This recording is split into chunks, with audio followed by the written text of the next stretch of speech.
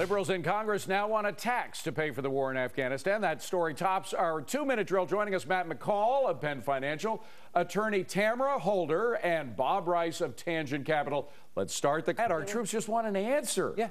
That, they just want it clarified. I mean, this is things dragged on for months without an answer, Tamara. Yeah, it's typical Obama politics, though. It's like make a decision and then we'll think about it later about you know the repercussions. For example, Guantanamo.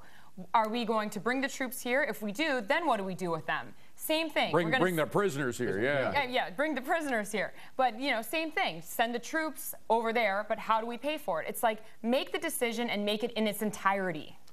The government debt is $12 trillion, and of course it's rising. Protesters are mocking Uncle Sam by taking to the streets with tin cups in hand. The U.S. Treasury might not be taking these extreme measures, but thanks to a little known law, they do take tax deductible donations to pay down the debt. You can send a check directly to the Treasury or include it with your tax return soon. You'll be able to contribute online as well. So, paying down our debt is your check in the mail. Would you do something like that, Tamara? I don't have enough money to donate back to the government. They tax Not many enough. people have done it, by the way. It's something like three million dollars total. Right. Oh. Right. And the largest one what's, uh, was 3.4 million. I, I, don't know in the 90s or something. But what are what is the point? It's going to cost. It's going to take a hundred uh, 15 billion $100 contributions in order to actually solve the deficit problem. And Bob, the point is, is that when you give money to something in Congress, they use it for something that, else. That somebody did put it in their will. At one point, somebody said, "I'm sorry." I think it was an immigrant who made a lot of money or was so grateful to the government for giving him the opportunity.